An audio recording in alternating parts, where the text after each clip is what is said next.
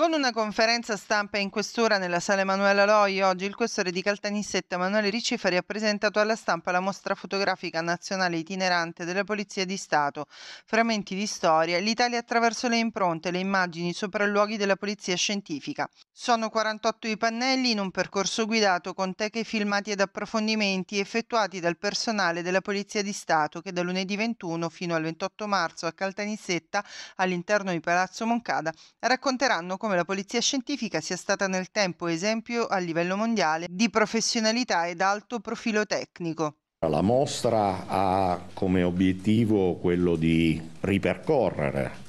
la storia della polizia e ripercorrendo la storia della polizia, in particolare della polizia scientifica, ci accorgiamo che di fatto ripercorriamo la storia sociale eh, del paese i momenti più difficili, i momenti più importanti, sia di eh, fatti, di eventi pubblici catastrofici, di reato, di calamità, andiamo dai terremoti ovviamente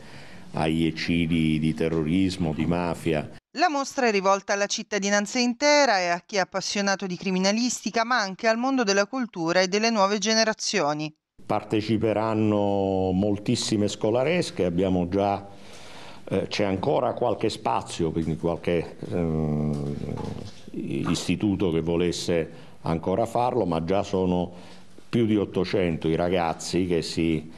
eh, alterneranno durante la settimana di mostra un evento gratuito e visitabile al mattino e al pomeriggio e anche nel weekend. Il questore ha inoltre anticipato alla stampa che sarà pubblicato entro aprile, dopo la 170 festa della polizia, un libro dedicato alla storia della questura di Caltanissetta, scritto dal sostituto commissario Salvatore Falzone, responsabile dell'ufficio comunicazione, e sarà lanciato proprio il 10 aprile.